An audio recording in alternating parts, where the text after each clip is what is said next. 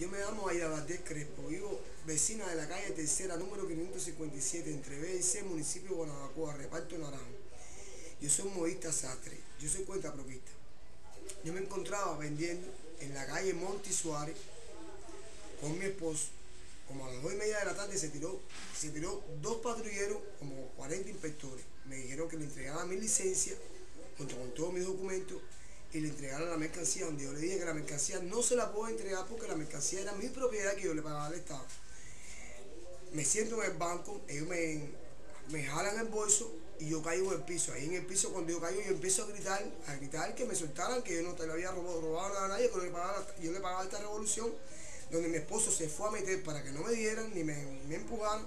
Mi esposo lo cogieron por cuello, cuello, lo tiraron para el piso, lo montaron en una patrulla Después vinieron dos mujeres patrulleras, me cogieron por el cuello, me llevaron para la patrulla y fui para la unidad. En la unidad se me descomisó la mercancía.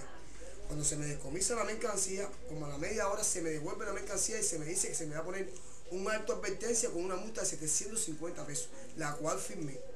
Se me devuelve la mercancía. Cuando voy a salir para afuera de la unidad, llega una, una coronel llamada Ofelia de, la unidad de, de Dragones y me dice que la mercancía tenía que entrar para adentro y que el, que el oficial de, los inspectores levantando una denuncia, puesto de que, que había caído un delito de desobediencia. Yo creo que si yo caigo en un delito de desobediencia es porque yo haya tenido multa con anterioridad por el hecho y alto advertencia. Yo creo que yo no he tenido ni multa ni alto advertencia por ese mismo hecho. ¿Usted fue golpeada, según te usted estaba embarazada, por casualidad? Sí. Y estando embarazada fue golpeada por agentes de la policía.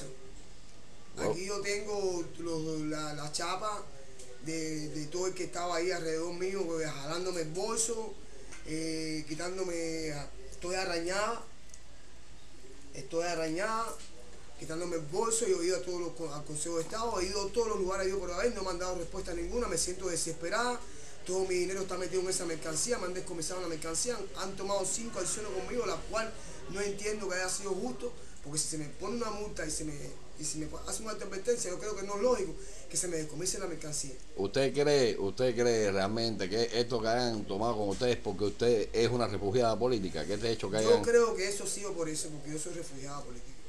Ah, entonces usted piensa que la misma, eh, por mediación de la misma seguridad del Estado, la policía y los inspectores intervinieron para hacerte este decomiso para crearte una situación un poco desagradable. Espero yo que haya sido así.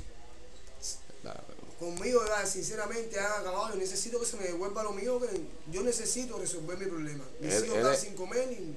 ¿Eres madre de familia? ¿Cuántos hijos tienes? Yo soy madre de familia, tengo cuatro muchachos, tengo un niño sordo mudo con una parálisis cerebral y tengo una niña con problemas en la sangre.